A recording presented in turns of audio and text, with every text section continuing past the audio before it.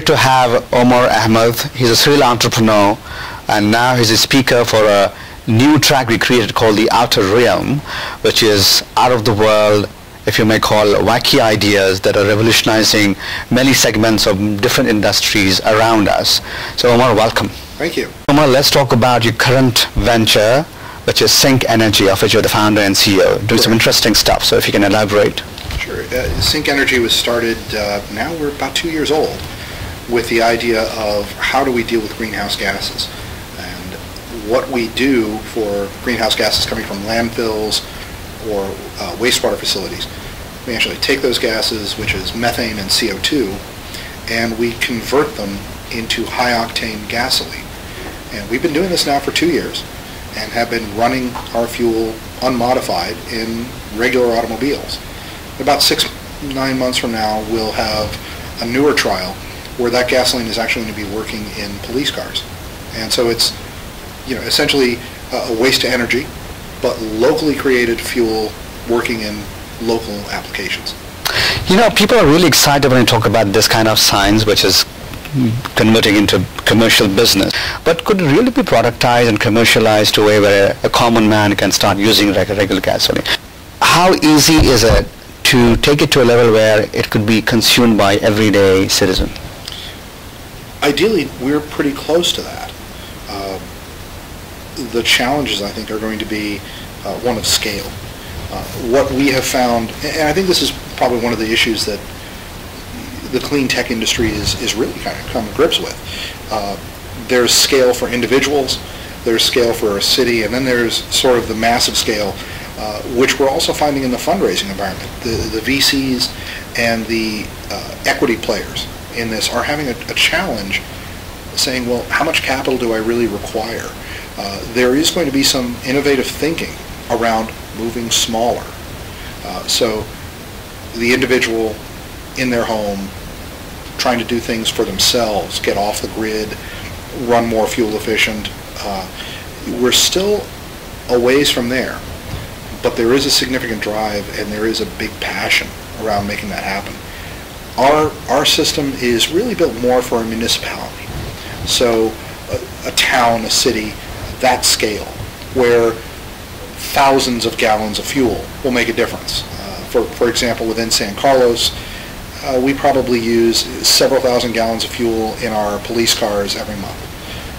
This is a very easy play for that. So could we fuel our police cars, our ambulances, uh, our other light fleet, and get that completely paid for? And again, this would be sort of the waste recovery. So the nice thing is we're saving money on our budget, we're saving the environment, and putting out clean fuel.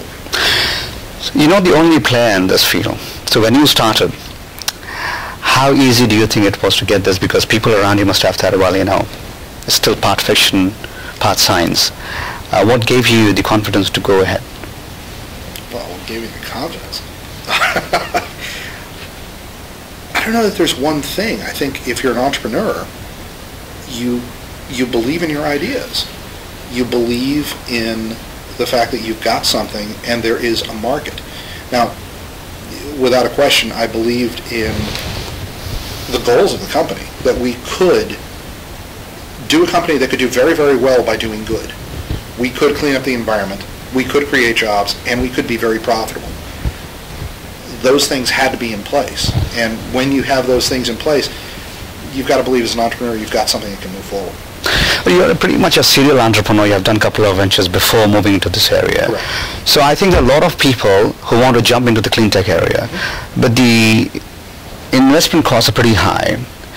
And looking at the significant cost, people kind of shy away. They say, well, maybe that's not a play for me you probably have this confidence. I'm coming back to the confidence part because you've sure. done this before. Um, so do you think um, it takes a seasoned entrepreneur and the connectivity to get into clean tech as an entrepreneur, or you think for people out there who are dwelling on this idea because they have the great th- you know technology on their hands, but they're kind of shying away because of the investment part of it. Mm-hmm. What do you think uh, should propel them to take the next step and jump the bandwagon of the entrepreneurs? It's a great question. I would probably argue that those who are not in the industry uh, will be where the real innovation is going to take place. Uh, for our system, it was pretty clear. Everybody said, well, shouldn't you be talking to people who understand refineries or something else like that? Uh, for those IT people in the audience, they would understand the analogy of, you know, you may have really been the guy who built mainframe computers, but if you look at the iPhone, could you have ever designed that? At their heart, they're all computers. They're all memory. It's a storage device. It's I/O, but very, very different. So we are dealing with very different scales. We're dealing with very different applications, and that's going to take innovative thinking. The idea that those innovations are going to come from within the industry is very, very low. It's very likely to come from outside. And to that extent, I think entrepreneurs who have the ideas, you're probably the wave of the future. Let me come to the personal aspect of you. Um, you have done uh, cloud computing 10 years ago before you said the term was, you know, phrased. Uh, then you uh, went on to the security aspect of it, now in clean tech. How do you do this? You know, the domain that I think that I, that I bring is um, spotting a problem and recognizing this is something that I want.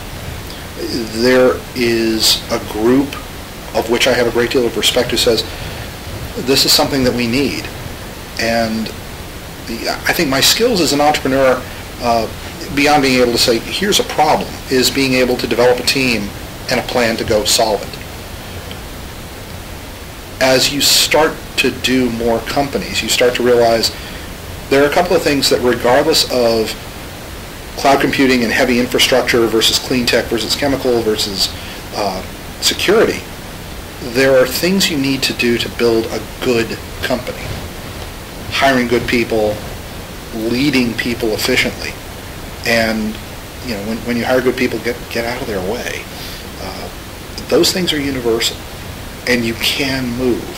Uh, of course, you have to get very, very you know, down and dirty into the details and make certain that you understand it and converse it and can have confidence in what you're selling. But uh, those are those are skills that transpose all verticals. I don't think uh, you have um, any less enthusiasm and zeal and the passion than the next serial entrepreneur. Mm-hmm. But let me ask you this, along the way, since you've done three now, and probably have done many others with uh, joining other people, do you feel you missed a big idea, or you spotted it but you kind of slacked on it and you let it go and somebody else picked it? Is there any idea you regret not jumping upon or having missed? That could have been a big one? Ideas, no. I, I think if there's something that I've um, wished I could do better was better timing.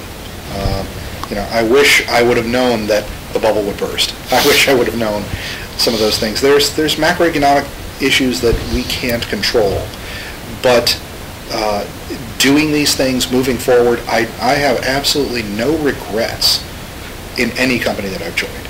Um, I, I joined Napster uh, at a point where we were literally being sued by everybody.